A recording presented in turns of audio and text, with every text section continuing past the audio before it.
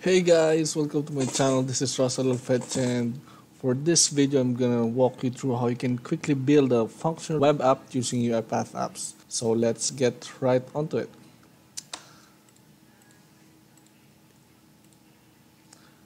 Okay, so what we're gonna build is a very simple app that can list out all the assets by interacting into a database, in this case a data service, and then be able to assign that specific asset to a specific person, um, much like how you do onboarding. Now let's build that app. So let's start by building a new app. Let's call this my first app and click create.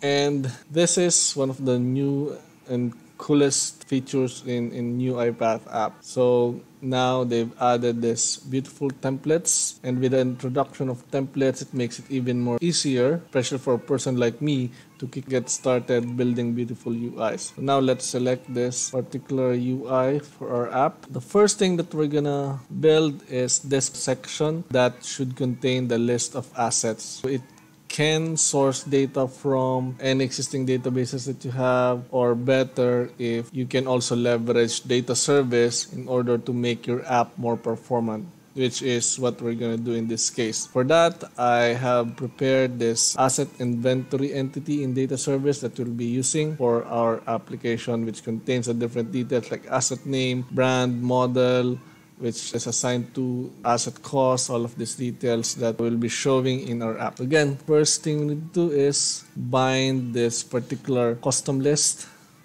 into our asset inventory by filling up the data source field and adding the entities in our app. So let's select that asset inventory and it automatically associates dependent entities as well. So I click add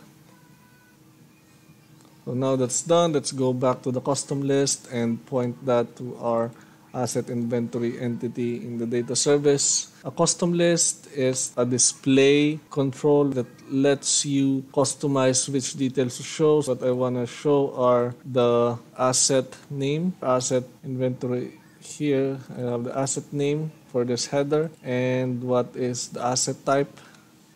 And lastly would be the cost of the asset which are present in our data service. And then we'll name this section as asset list. So we're done setting up with our asset list section which contains all of the assets. So now we'll go to the detailed section for the currently selected asset in the custom list. It will show all the additional details here for that particular asset. So let's set up this container so that it will point to the currently selected item. We do that using the data context. We're gonna look up for asset inventory details which contains this is the filter that we're gonna build which contains the asset ID that's uh, currently selected. How we do that is the currently selected asset in our custom list. So now we have the data context for this container and we can access all the details from this data context. First thing, let's show the currently selected asset tag. And for this additional details which most importantly which person this asset is assigned to, which business unit. And finally let's say what's the brand or model of this asset.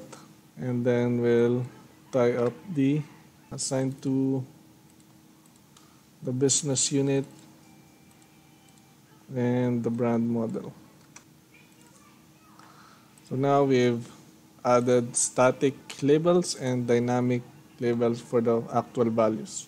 And then let's just finish up these different sections which are also in our data context as separate fields which relates to each specific asset so these are, let's say, contains the specifications of the asset, the features and all of those details are here. So we'll just need to map this.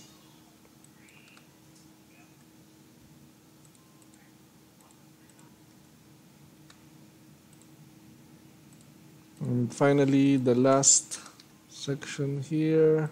Let's finish up the description. Okay. Now that we have that asset list section and detailed section of a currently selected asset, let's now add a function to our button to assign this asset to another person. For us to do that, we need to create a rule for this button to open a page that lets us select the person to assign that asset to. Let's select open a page and we can create a new page. A blank page would suffice. So I select that and drag that over here and this will just show us a pop-up. So what this button will do is open this assignment page which we will do right now. Just very simple drop down to choose which user and a button to assign this asset to that chosen user. The drop down will just need to point it to our user's entity. In this case, system users or any other entities that you have that contains a list of users. And then the column will be the name of the user so that it will show the name in this drop-down list. To finish this off, so we will create a rule that once a sign is clicked, we will update the database or in this case, the data service record. So similar to how we built the data context, we will be doing a lookup from the asset inventory where, so filter right here, where the ID of the asset is matching the currently selected asset.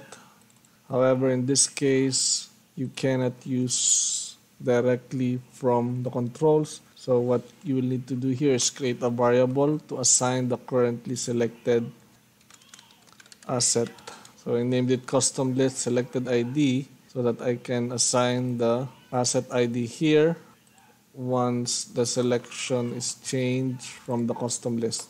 So let's go back to this later. Let's just finish this up. So what I will change here is the assign to, which I will bind to the drop-down list, selected object binding, and this finishes up our create and update entity record. Uh, once the button is clicked, it will update the data service record that's selected. So how do we make sure that we update the correct entity record? We'll go back to our custom list make sure that when the value changed, we will set the variable. So when the value of the selected item in the list change, this will be assigned to the variable. So here we can select the custom list selected value ID. That's it. What else we need to do here? Let's just name this properly. And I think we're done. Let's add the image here. So the binding to the image, let's add a new control.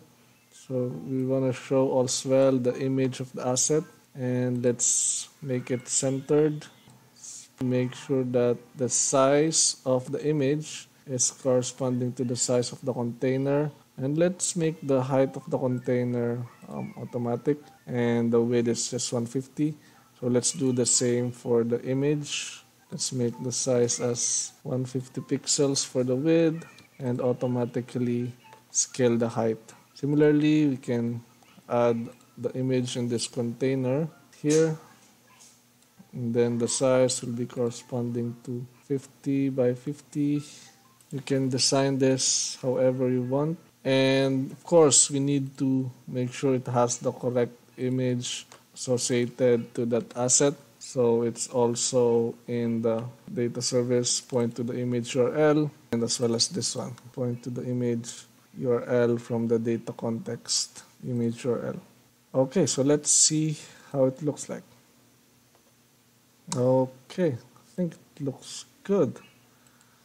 And let's try the function, assign it let's say to AP You click assign, which is good. And you can build this up much further so you can inter- integrate this with your ServiceNow or Workday application to complete your onboarding process automation. So what you can do is when the button is clicked, you can call on a robot by starting process and specify the process that will perform the integrations to your ServiceNow or Workday or any HR applications that you have. Stay tuned for more tutorials in UiPath. Thank you.